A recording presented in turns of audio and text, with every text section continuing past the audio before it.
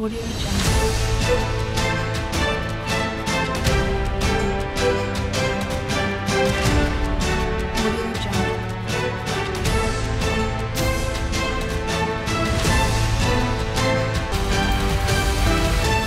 Audio Jungle. नमस्कार, आप देख रहे हैं टुडे 24 न्यूज़ मैं हूँ आपके साथ सपना मदेशिया कासगंज पुलिस पर किसानों ने लगाया भ्रष्टाचार का आरोप। कल भारतीय किसान यूनियन स्वराज के कार्यकर्ताओं ने सदर कोतवाली का किया घेराव। कोतवाली के बाहर रोड पर बैठकर बिलराम रोड को किया जाम। बुज़ुर्ग किसान को घर से उठाया और चार हज़ार रूपए की रिश्वत ली। दोषी दरोगा के खिलाफ कार्यवाही की मांग पर अड़े किसान नेता, भारतीय किसान यूनियन स्वराज के राष्ट्रीय अध्यक्ष कुलदीप पांडे व प्रदेश प्रभारी आशीष पांडे के नेतृत्व में किया गया कोतवाली का घेराव।